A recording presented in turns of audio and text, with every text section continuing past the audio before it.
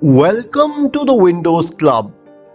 If you are unable to turn on Windows Defender on Windows 10, then either read through this article on the Windows Club, the link has been shared in the description section, or simply watch this video, I'll guide you through the solutions.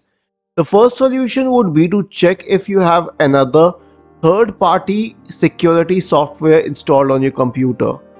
This is because a third-party software would prevent Windows Defender from turning itself on because it's always advisable to keep one security software in your computer.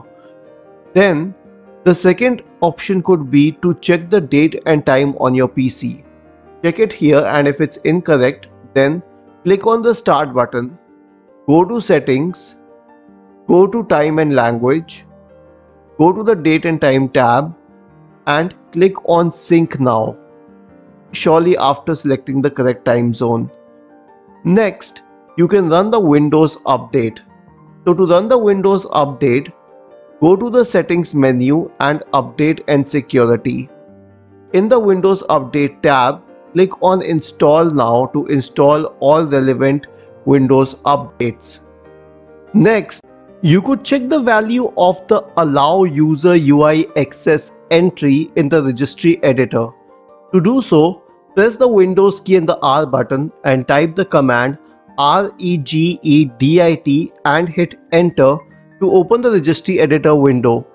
Now copy this path from this article and paste it here in the registry editor window. Click on paste and it would take you to the policy manager key. In the policy manager key, locate the value allow user UI access and if it does not exist, you can create it as follows.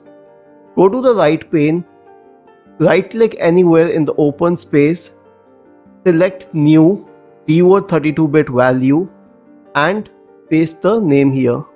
Now double click on this and change the value of allow user UI access value data to 1 and click on OK to save the settings. Isn't this interesting and easy?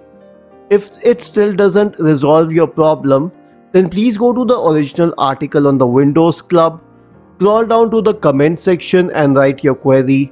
We will surely answer to it. Do not forget to subscribe to the channel. Thank you for watching this video and have a nice day.